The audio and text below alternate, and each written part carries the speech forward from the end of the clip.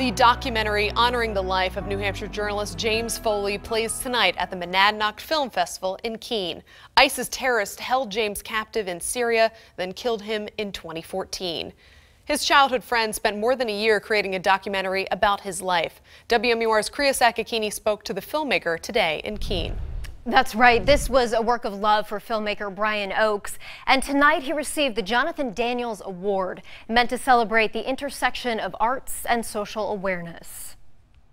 The image of journalist James Foley at the hands of ISIS executioners gripped the world. Outrage over that image is what inspired his childhood friend to tell Jim's real story. To me, like, that was not Jim. And I didn't want him to be known throughout the world as, as that as that man. Brian Oakes grew up with James in Wolfeboro.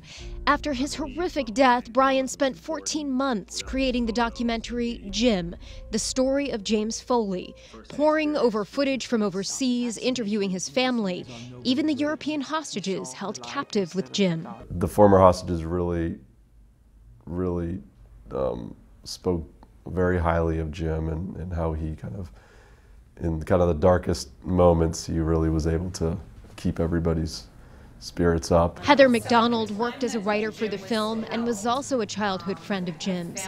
She says they made a very clear decision not to show footage of Jim's execution. We ultimately decided, um, yes, that it's important to let folks know at the top of the film um, that this is not an image that they were going to be seeing in the film. Both Brian and Heather say the real story is about Jim's life, his work, his commitment to giving voice to the voiceless. The film portrays Jim as a journalist and as a humanitarian who cared deeply for people, especially victims of war. And his friends say creating the film allowed them to get to know Jim in a deeper way. I knew it would give me an opportunity to really spend time with Jim um, over the year, and that's really what happened. Being able to go back through photos and writing um, and see his work James Foley's family was closely consulted during the creation of the film. In fact, his mother has been holding screenings throughout the East Coast to help raise money for the James Foley Legacy Foundation. Reporting live, Kria Sakakeeny, WMUR News 9.